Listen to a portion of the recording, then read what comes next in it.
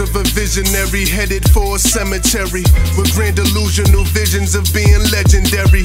34 years, all I did was pour beers, scream about warfare. Now I'm in the crosshairs. I'm kinda lost here. The more fame, the more bitches, the more fear. I'm talking like you all care. Let's make this all clear. It ain't all musical. I'm talking about my future. You telling me what I used to do. It's no gimmicks to them, shine or glisten to them. You gotta be in some sort of pain just to listen to them. Yeah. They say the game done chewed them and spit them out. But here's a couple things that you niggas ain't figure out.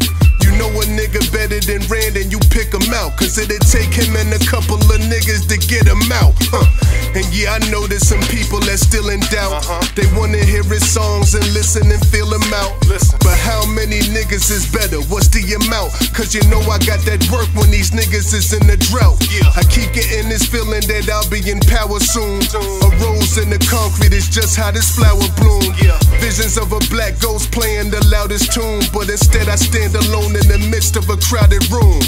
They say you're blessed to be living that, so to speak. I don't agree. I think that that's just a given. That's only me. I'm so discreet when it comes to my movements. I know the streets. Now, if you wake up with no money, then why would you go to sleep? Why? I keep doing the same old shit with the same results. Too used to conversations with niggas who ain't adults. I cut off all them niggas who front like they came to help. They ain't they self, so I'ma stay on point like I'm Raymond Felt.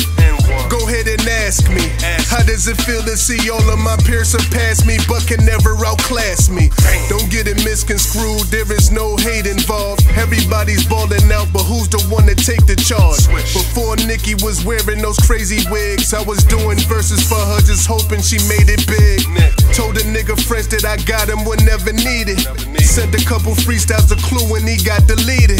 I guess he looks at me as the reason he got mistreated. Why? But I am not a DJ, my nigga, best to believe it. Yeah. Got a verse from Wayne before he was sounding off. Did a song with Ross before he was crowned the boss. They say I'm not New York, I just live in the town across. I make them all convert like a Muslim who found the cross. Huh.